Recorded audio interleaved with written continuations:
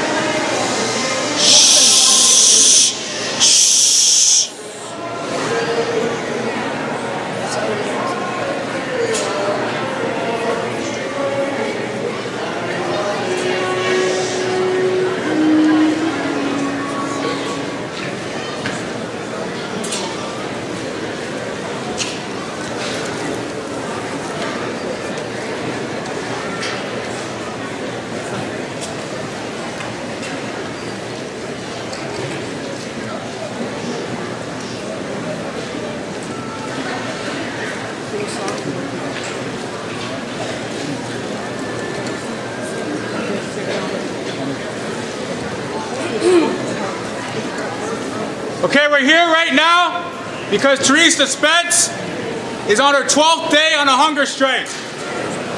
And she's on a hunger strike because the Harper government is trying to pass legislation without consulting the Canadian people or the First Nations people. And the legislation they're trying to pass is going to be destructive to Mother Earth and the waters. We are all one people. It doesn't matter if you're Irish, English, Anishinaabe, Cree. We are all one people to the land. We are here in solidarity.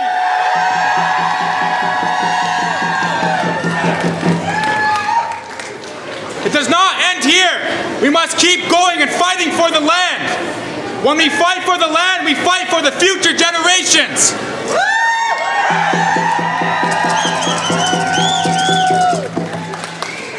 Canadians and First Nations people must unite for our children, for Mother Earth.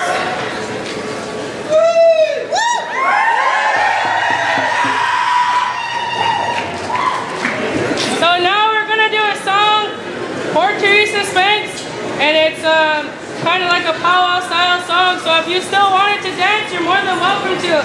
And when you dance, when you hear this song, I need you to pray for Theresa Spence, and I need you to pray that Bill C-45 does not get passed through. Yeah.